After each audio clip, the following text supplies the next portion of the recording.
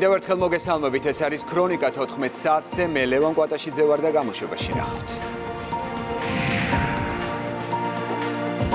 ხანძრის ახალი კერები ოკუპირებულ აფხაზეთში რა ინფორმაციას ავრცელებს დე-ფაქტო რეჟიმი?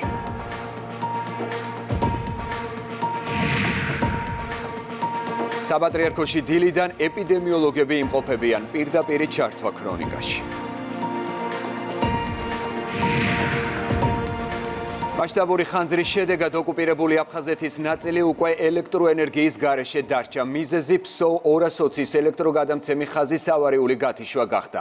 ხანძრის კერების ჩაქრობა ოკუპირებულ რეგიონში ამ დრომდე ვერ ხერხდება. კიდევ ერთი კერა 8 იანვარს გაგრის რაიონის სოფელ ბზიფში დაფიქსირდა. ახალი კერები გაჩნდა ახალი ათონის მიდამოებსა და ოჩამჩირეშიც. ლევან ფოჩხუა გაგვაცნობს რა ხდება ამ დროისთვის ოკუპირებულ აფხაზეთში. დიახ, საკმაოდ მწირი ინფორმაცია ვრცელდება ოკუპირებულ აფხაზეთში არსებულ ხანძრებთან დაკავშირებით, მაგალითად ოკუპირებული აფხაზეთის ეგრეთ წოდებული საგანგებო სიტუაციების სამსახურის ვებგვერდზე მითითებულია, რომ ხანძრის ყველა კერა უკვე ჩამქრალია, თავად გაგრაში კი დამწვარია მხოლოდ 6 ჰექტარი ფართობი, თუმცა ჩვენ კადრებშიც ვნახეთ, რომ ხანძრის მასშტაბი გაცილებით დიდია. ადგილობრივი მედია საკმაოდ მცირე დროს უთმობს ამ თემის გაშუქებას, თუმცა იმ კომენტარებიდან, რომელიც ჩვენ მოვიპოვეთ ადგილობრივ მედიაზე დაყრდნობით, საუბარია, რომ ხანძარს ოკუპირებულ აფხაზეთში ჯერ ჯერ კიდევ ებრძვიან. გაგრის რაიონის სოფელ ბზიფში ფიქსირდება ხანძრის კიდევ ერთი კერა, ასევე ახალათონსა და ოჩამჩირეშიც ვრცელდება ცნობა, რომ აფხაზეთის ნაწილი ელექტროენერგიის გარეშეა დარჩენილი, რადგან ხანძრის გამო მწყობრიდან გამოვიდა ელექტროგადამცემი ხაზი, რომლითაც სოხუმის და აფხაზეთის დასავლეთ რაიონები მარაგდება. აქ ყველგან ცეცხლია. გუში მთელი ღამე მუშაობდა პოლიცია საგანგებო სიტუაციების მართვის სამსახური. ჩვენ ყველა მადლობას ვუხდით მათ თავდადებისთვის. დღესაც ისინი იქ დგანან და ებრძვიან ხანძარს. უდაუთიდან ჩამოვიდნენ მეხანძრები. მინისტრი მინისტრის მოადგილე. ყველაფერი ჩამოიტანეს სოხუმიდან. გადაარჩინეს სახლები. ერთი სახლიც კი არ არის დამწვარი ზოგადად ხანძრების გამომწვევ მიზეზად ადამიანური ფაქტორის სახელდება ვითარება იმდენად გამწვავდა რომ რამდენიმე დღეა რაც ოკუპირებულ აფხაზეთში მეხანძრე მაშველები ცდილობენ ხანძართან გამკლავებას. ჩვენმა მაყურებელმა უკვე იცით რომ საქართველოს ცენტრალურმა ხელისუფლებამ ოკუპირებულ აფხაზეთს დახმარება შესთავაზა მათ შორის ავიაციის გამოყენების შესაძლებლობით რომ მომხდარიყო ხანძართან გამკლავება მაგრამ გუშინ გავრცელდა ოკუპირებული აფხაზეთის ეგრეთ წოდებული უშიშროების საბჭოს მდივნის კომენტარი სადაც სერგეი შამბა უარს აცხადებს ცენტრალური ხელისუფლების შეთავაზებაზე მადლობა ოკუპირებულ აფხაზეთში არსებული ვითარება ლევან ფოჩხუამ გაგვაცნო. ოკუპირებულ აფხაზეთში ხანძრისგან დაზარალებულ მოსახლეობას კი სოლიდარობას უცხადებს საქართველოს პრეზიდენტი. სალომე ზურაბიშვილი განცხადებას ავრცელებს და ქვეყნის სხვადასხვა რეგიონში შექმნილ ვითარებას ეხმაურება. ძალიან ძიმია რომ პანდემიისგან დაზარალებულ მოსახლეობას ახლა ხანძართან გამკლავება უწევს. თანაუგრძნობს საქართველოს სხვადასხვა რეგიონში მცხოვრებ ყველა ჩვენს მოქალაქეს, მათგან განუყოფლად მსურს სოლიდარობა გამოუცხადო ჩვენს მოსახლეობას ოკუპირებულ აფხაზეთში, რომელსაც ასევე ზიანი მიადგა პანდემიისა და ხანძრისგან. მინდა იცოდეთ მე თქვენს გვერდით ვარ და ვაფასებ იმ შემართებასა და გამძლეობას, რითაც დღეს ამ ურთულეს ვითარებას უმკლავდებით, ნათქვამია განცხადებაში, რომელსაც თან ახლავს აფხაზური ვერსიაც. საქართველოში ღამით ხანძრის კიდევ ორი ახალი კერა გაჩნდა. ერთი იმერეთში ერთი კი სამეგრელოში. მარტვილში სოფელ ბალდაში ზუსტად იმფერდის სიახლოვეს სადაც მეხანძრე მაშველებმა ორი დღის წინ ცეცხლი ჩააქრეს. ბალდას გარდა ერთი კერა დობერაზენში და ორი წალენჯიხაში სოფელ სქურში. აქ ორივე კერა უკვე ლოკალიზებულია. ხანძრის კონტროლი მოხერხდა შიდა ქართლში ღამის განმავლობაში ახალი კერა გაჩნდა იმერეთში საჩხერეში სოფელ ვაკისაში იწვის ფოთლოვანი ტყის ქვედა საფარი. ხანძრის სიახლოვეს არ არის დასახლებული პუნქტი, ადგილზე კი ამ დრომდე მეხანძრე მაშველთა პირადი შემადგენლობაა მობილიზებული.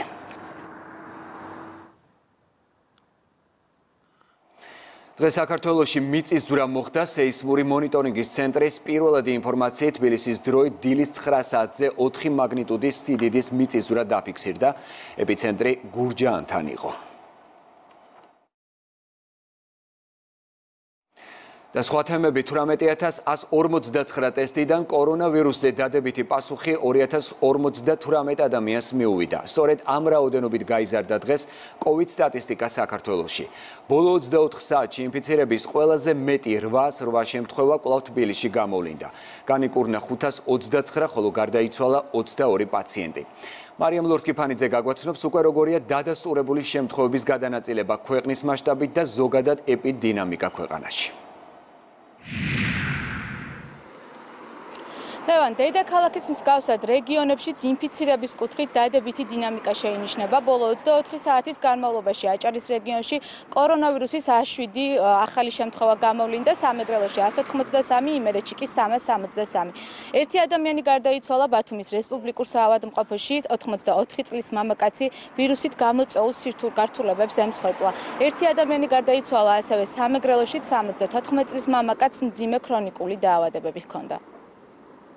დღეს დილისთვის ბათუმის რესპუბლიკურში ყავს 76 COVID-19 ინფიცირებული პაციენტი, აქედან 17 პაციენტი იმყოფება რეანიმაციულ განყოფილებაში. გასული 24 საათის განმავლობაში ერთი პაციენტი გარდაიცვალა რესპუბლიკურ საავადმყოფოში, ეს იყო 84 წლის მამაკაცი, რომლის მდგომარეობა იყო მძიმე, იმყოფებოდა რეანიმაციულ განყოფილებაში, სუნთქვის უკმარისობის გამო და ფილტვების პნემონიის გამო და მაღალი პროცენტი დაზიანების გამო მართვით სუნთქვაზე იმყოფებოდა, განვითარდა მწვავე რესპირაციული დისტრეს სინდრომი და მიუხედავად ჩატარებული ღონისძიებებისა, პაციენტი გარდაიცვალა სამწუხაროდ. სამეგრელო ზემოსვანეთის რეგიონში ბოლო 24 საათის განმავლობაში გამოჯამსოვდა 52 მოქალაქე. გამოვლინდა COVID ინფიცირების 183 ახალი შემთხვევა. რეგიონის მოქმედ COVID კლინიკებში მკურნალობს 214 პაციენტი. მათ შორის მძიმე მდგომარეობაში არის 15 პაციენტი. გარდაიცვალა რეგიონის მასშტაბით ერთი პირი 76 წლის მამაკაცი ჩხოროწყუდან, რომელსაც ჰქონდა თანდები დაავადებები. ბოლო 24 საათის განმავლობაში 363 ახალი დადებითი შემთხვევა გვაქვს თლიანად იმერეთის მასშტაბით, აქედან რა თქმა უნდა ისე უმეტესობა მოდის ქუთაისზე და შემდეგ უკვე სხვადასხვა მუნიციპალიტეტებზე. ამ ეტაპზე კლინიკებში გადის კურნალობას 729 ადამიანი, თვითიზოლაციაში ყავს დაახლოებით 4800-მდე ადამიანი და პრინციპში საწოლ ფონდის რაოდენობა გვაქვს საკმარისი და თავისუფალი საწოლებით უკვე დღევანდელი დღისთვის დაახლოებით 300-მდე თავისუფალი საწოლი გვაქვს, სადაც კიდევ შესაძლებელია ამ COVID ინფიცირებულების მოთავსება. ვიცავდით თუ არა სადღესასწაულო დღეებში რეგულაციებს ეს უფრო ზუსტად 12-14 იანვარს გამოჩნდება. ამის შესახებ განცხადება დაავადებათა კონტროლის ცენტრის დირექტორის მოადგილემ იმედის ეთერში გააკეთა პატაიმოძის განცხადებით. ქვეყანაში ეპიდვითარების სტაბილიზაცია შეინიშნება თუმცა ყოველდღიურად 1500-2000 ინფიცირებული მაინც ბევრია. პატაიმნაძემ ყურადღება გაამახვილა ასევე კორონავირუსის ახალ შტამზეც სტაბილიზაცია ნამდვილად არენო ახლა თუ გავითვალისწინებთ რომ დღეში 5000 ან თქვა ქონდა ქონდა 2000 თანაც ეს ვთქვათ ეს 2000 ალბათ მაინც აი გუშინ ხოლმე ძალიან ცოტა ადამიანმა მიაკითხა ასე ვთქვათ. ну გასაგებია სადღესასწაულო დღეებში ცოტა მიმართვიანობა ესეც ჩავს რომ აი გატესტილებიდან რამდენი პროცენტია ვთქვათ დადებითი ესეც მიგვანიშნებს იმაზე რომ აშკარად შემცირებულია ამ შტამის ძირითადი საშიშროება რა არის? 56%-დან 70%-მდე უფრო სწრაფად ვრცელდება. აბსოლუტურად არავითარი განსხვავება არ აქვს ჯერჯერობით რაც არის მონაცემები. არც სიმძიმეში, არც სიმპტომებში, არც მიმდინარეობაში მიუხედავად იმისა, რომ 24 დეკემბრიდან 2 იანვრის ჩათვლით წერტილოვანი შეზღუდვების ნაწილი შემსუბუქდა, სპეციალისტები დრამატულ სურათს მაინც არ პროგნოზირებენ. საქართველოს არსებული ეპიდვითარება მარიამ ლორთკიფანიძემ გაგვაცნო. საპატრიარქოში კი ეპიდემიოლოგები იმყოფებიან, სადაც ინტენსიური ტესტირების რეჟიმი გრძელდება. საპატრიარქოს იოაკიმესა და ანას სახელობის კლინიკის ხელმძღვანელი ქრონიკასთან ამბობს, რომ კონკრეტული რეკომენდაციები ჯანდაცვის სფეროს ექსპერტებისგან უკვე მიიღეს. რაც შეეხება მთავარ შეკითხვას, როდის აუღებენ პატრიარქს ბიოლოგიურ ნიმუშს COVID ტესტისთვის, ამ კითხვაზე პასუხს უკვე მარიამ ქართველიშვილისგან მოისმენთ და ის ახლა ქრონიკის ეთერშია. ლევან სულ რამდენიმე წუთის წინ საპატრიარქოს ოფიციალურ ვებგვერდზე გამოქვეყნა განცხადება, სადაც წერია, რომ ამ დროისთვის უწმინდესის ჯანმრთელობის მდგომარეობა არის კარგი, ის თავს კარგად გრძნობს და ამ ეტაპზე მისთვის ტესტირების ჩატარება არ იგეგმება. რაც შეეხება საპატრიარქოში არსებულ ვითარებას, სულ რამდენიმე წუთის წინ საპატრიარქო უკვე დატოვეს ეპიდემიოლოგებმა, ინფექციონისტებმა საუბარია დაავადებათა ეროვნული ცენტრის თანამშრომლებზე, გადამდებდა დაავადებათა დეპარტამენტის თანამშრომლები დილიდან იმყოფებოდნენ საპატრიარქოში და მიმდინარეობდა ჩახრმავებული კვლევა, რაც იმას გულისხმობს, რომ პატრიარქის გარემოცვის წევრებს მათ ვისაც დაუდასტურდათ COVID-19, მათთან მიმდინარეობდა დამატებითი გამოკვლევების ჩატარება. ეპიდემიოლოგებმა ისე დატოვეს საპატრიარქოს ტერიტორია, რომ მათ მედიასთან რაიმე ტიპის განცხადება ან კომენტარი არ გაუკეთებიათ. რაც შეეხება საპატრიარქოსში მიმდინარე მოვლენებს, როგორც უკვე გითხარით, ეპიდემიოლოგებმა უკვე დატოვეს ტერიტორია. ჩვენ ვესაუბრეთ იოკიმესა და ანას სახელობის კლინიკის ხელმძღვანელს, რომელიც ამბობს, რომ ინტენსიური ტესტირება საპატრიარქოში მუდმივად მიმდინარეობდა. იტესტებოდნენ სასულიერო პირები და ასევე პატრიარქის გარემოცვის წევრები, იტესტება ყველა, ვინც პატრიარქთან შეხვედრაზე შედის. რაც შეეხება შორნა თეთრუაშვილის ჯანმრთელობის მდგომარეობას, მისი მდგომარეობა არის დამაკმაყოფილებელი, ის უსიმპტომოა და ამ დროისთვის იმყოფება იზოლაციაში ტესტირების კითხვასთან დაკავშირებით კი როგორც უკვე გითხარით საპატრიარქომ გაავრცელა განცხადება სადაც წერია რომ ამ ეტაპზე უწმინდესისთვის კოვიდ ტესტირების შეტარება არ იგეგმება არ გადაწყვეტს არის თემა მომისა და ერან ნაგეთს განცხადება არ ვიცი ამ თვითონ მიმდინარეობს ტესტირება საპატრიარქოში ინტენსიურად ამ თვითონაც არიან ეპიდემიოლოგები საპატრიარქოში ჯანმრთელობის მდგომარეობა როგორია პატრიარქის? პატრიარქი ძალიან კარგად გნობს თავს. სიფხილის გამო დაიწესა რომ უწინდესთან მიბძანებულიყო მისამოსად. ამიტომ ყველას უკეთდებოდა ტესტირება. აი ამ ტესტირების დროს მისი ამოვარდა დადებითი და ამის გამო მე შორენა გადავიდა იზოლაციაში, რადგან მას ჰქონდა შეხება დისტანციური, მაგრამ ის ხლენ მაგიდასთან საუბრობდნენ. როგორც უკვე გითხარით, ეპიდემიოლოგები დილიდან იმყოფებოდნენ საპატრიარქოში გადამდებ დაავადებათა დეპარტამენტის წარმომადგენლებმა. მედიკოსების ჯგუფმა უკვე დატოვა საპატრიარქოს ტერიტორია, მიმდინარეობდა ჩახმავებული ეპიდკვლევა, რაც შეეხება უშუალოდ საპატრიარქოში არსებულ მდგომარეობას, მაყურებელს შევახსენებ, რომ პატრიარქის იუბილეზე იმყოფებოდა შორნა თეთრუაშვილი. და მას ჰქონდა კონტაქტი უწმინდესთან, თუმცა როგორც უწმინდესის პირადმა ექიმმა განმარტა ეს კონტაქტი COVID რეგულაციების სრული დაცვით. მიმდინარეობდა ამ ეტაპზე კი საპატრიარქოს ოფიციალური ინფორმაციის თანახმად უწმინდესისთვის COVID ტესტის ჩატარების აუცილებლობა არ დგას. საპატრიარქოს მიმდებარე ტერიტორიიდან მარიამ ქართველიშვილი გვერდთვებოდა. და გავიგოთ უკვე როგორია ეპიდვითარება მსოფლიოში. კორონავირუსით ინფიცირებულთა რიცხვმა 90 მილიონს მიაღწია. ვირუსმა უკვე იმსხვერპლა მილიონ 900000-ზე მეტი ადამიანი. 64 მილიონამდე პაციენტი კი განიკურნა. COVID ინფიცირებულთა რაოდენობით მსოფლიოში კვლავ შეერთებული შტატები ლიდერობს. ევროპის ქვეყნებიდან კი ინფიცირების ყველაზე მაღალი დღიური მაჩვენებელი გაერთიანებულ სამეფოში გამოვლინდა სადაც გასული დღეღამის განმავლობაში 68000-ზე მეტი ახალი შემთხვევა აღირიცხა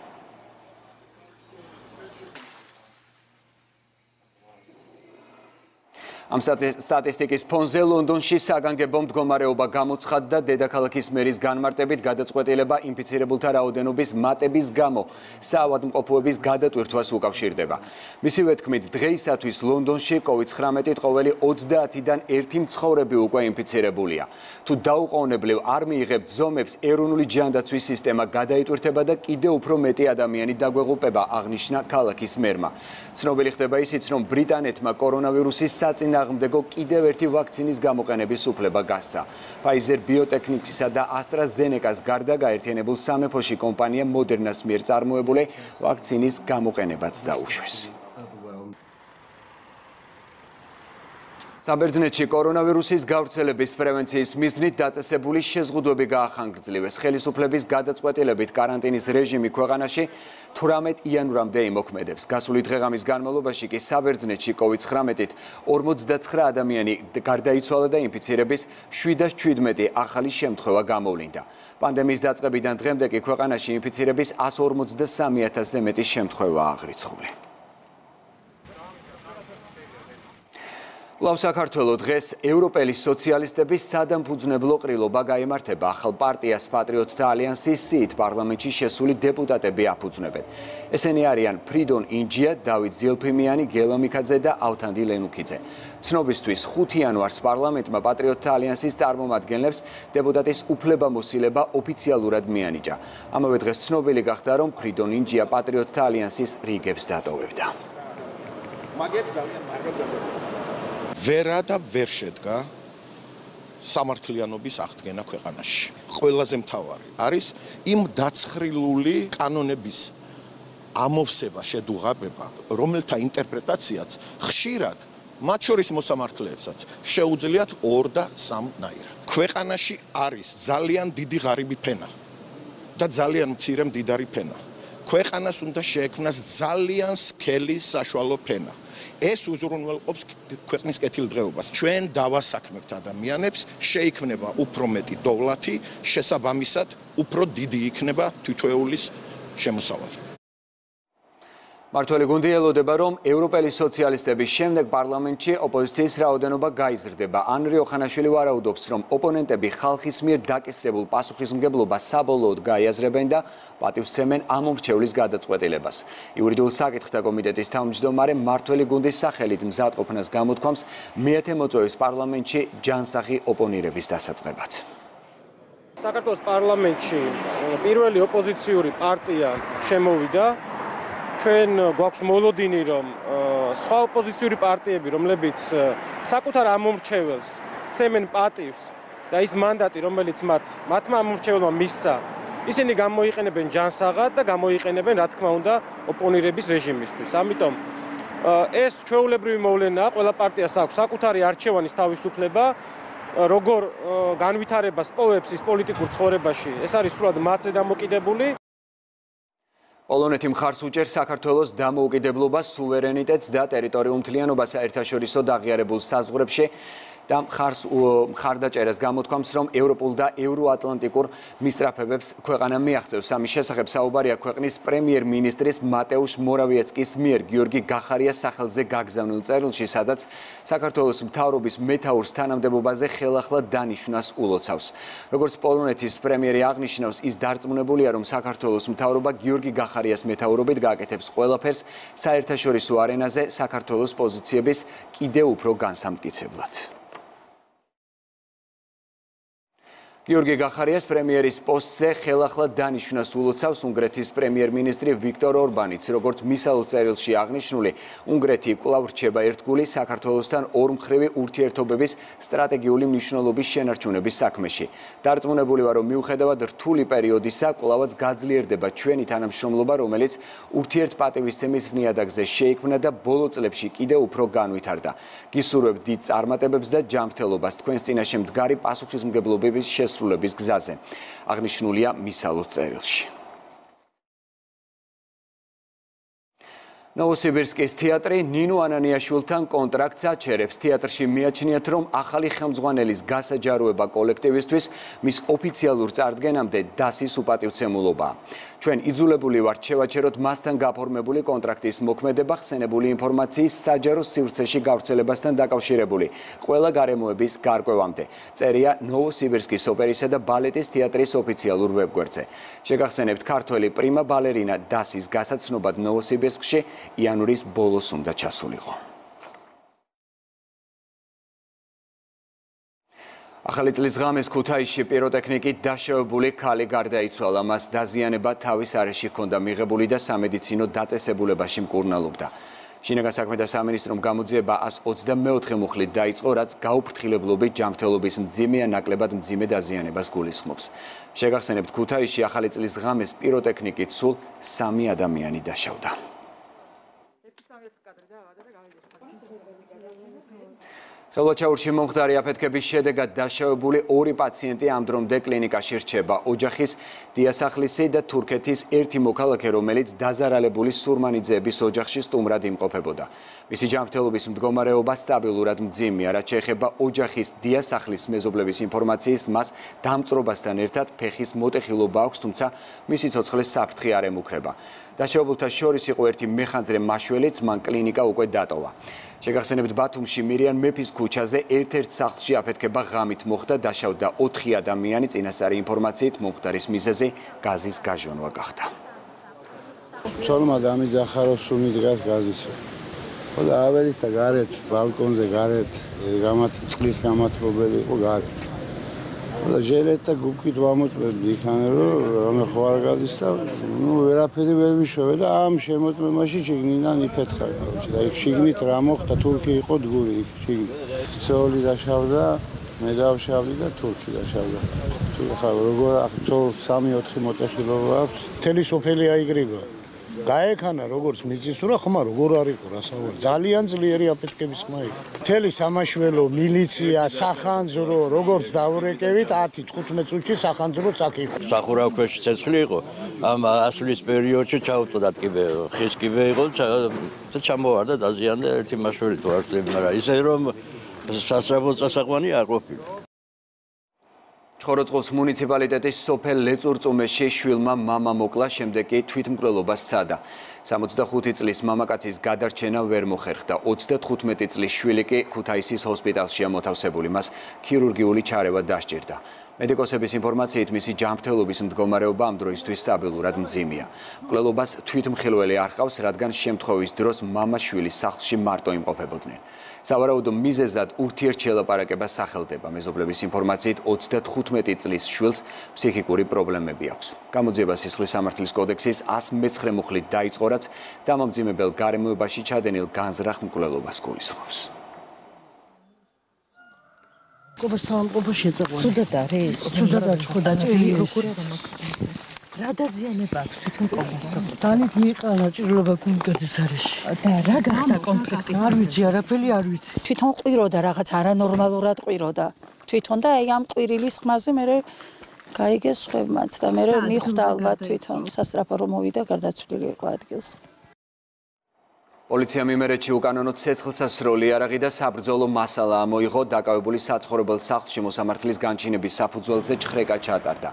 ნიუთმტკიცება დამოღებულია კალაშნიკოვის სისტემის აგაისის მოდელის ავტომატური ცეცხლსასროლი იარაღი, ჭიდი და 29 საბრძოლო ვაზნა. დანაშაული 3-დან 6 წლამდე პატიმრობას ითვალისწინებს. და უცხოეთის ახალი ამბები ჩვენ ვერავინ გაგვაჩუმებს Twitter-ს კი დემოკრატიასა და სიტყვის თავისუფლებასთან არაფერი აქვს საერთო. ასე ეხმაურება Twitter-ზე პირადი ანგარიშის დაბლოკვას თეთრი სახლის ლიდერი. დონალდ ტრამპის თქმით, მისი შტაბი სხვა საიტებთან აწარმოებს მოლაპარაკებას და უახლოეს პერიოდში საკუთარი ონლაინ ფორმატის შექმნას აპირებს. სოციალურმა ქსელმა Twitter-მა თეთრი სახლის ლიდერისა და მის საარჩევნო შტაბის წარმომადგენლებს ანგარიშები სამუდამოდ დაუბლოკა. წარმომადგენელთა პალატის სპიკერმა კი განაცხადა, რომ შეერაღებული ძალების მეთაურთა გაერთიანებული კომიტეტის ხელმძღვანელს პრეზიდენტ ტრამპსა და ბირთულ კოდებზე ესაუბრა ნენსი პელოსის თქმით, გაუწონასწორებელი პრეზიდენტისგან ყველაფერი მოსალოდნელია, მათ შორის საბრძოლო მოქმედებების დაწყება ან ბირთული იარაღის გამოყენება რის საშუალებაც მას არც ერთ შემთხვევაში არ უნდა მიეცეს. You want him to come? კანადის პრემიერ-მინისტრი მიიჩნევს, რომ დონალდ ტრამპმა კაპიტოლიუმზე შტურმი წააქეზა, ის რაც 6 იანვარს ვაშინგტონში ვიხილეთ, პრეზიდენტ ტრამპისა და სხვა პოლიტიკოსების წაქეზებით მიამბოხების დემოკრატიაზე თავდასხმა იყო. ჩვენ საზოგადოებაში ძალადობის ადგილი არ არის და ექსტრემისტები წარმატებას ვერ მიაღწევენ, აღნიშნა ტრუდო. დონალდ ტრამპი არჩეული პრეზიდენტის ჯო ბაიდენის ინაუგურაციას არ დაესწრება. მინდა უთხრა ყველას, ვინც ამის შესახებ მეკითხებოდა. ინაუგურაციაზე არ წავალ წერს თეთრი სახლის მოქმედი ლიდერი.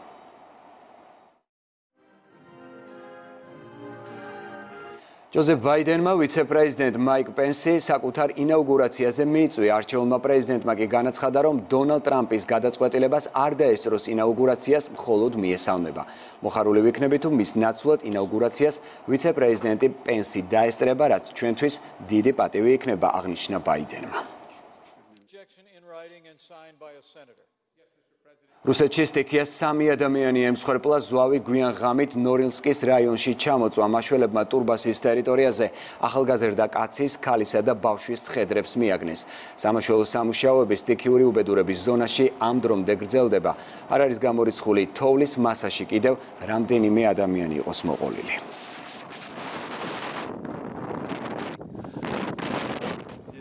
მადრიდში სტექიური საფრთხის უმაღლესი დონე გამოცხადდა მიზეზი უხთოვლობა გახდა რამაც ესპანეთის დედაქალაქში სატრანსპორტო კოლაფსი გამოიწვია.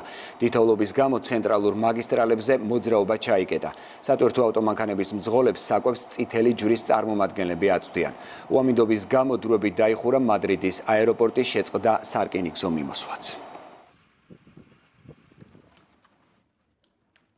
შავი ოქროს ფასი იზრდება 2020 წლის თებერვლის შემდეგ ბრენტის მარკის საწვავის ფასი 55 დოლარს პირველად გასცდა.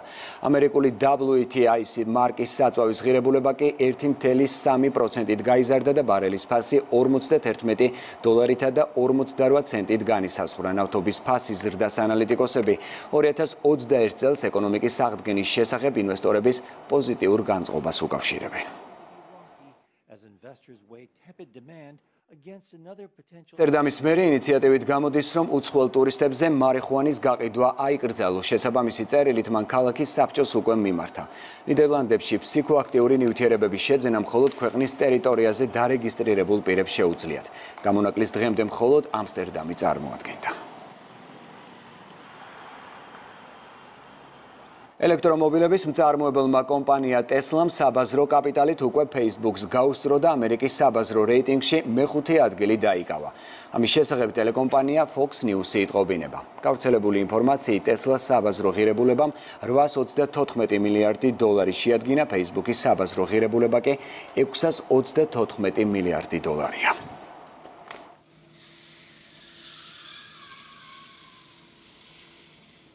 ეს ბოლო ინფორმაცია იყო ამ დროისთვის. ქრონიკა 5 საათზე დაბრუნდება. მანამდე კი დღის ყველა სიახლეს გაიცანით იმედენი ურჩისე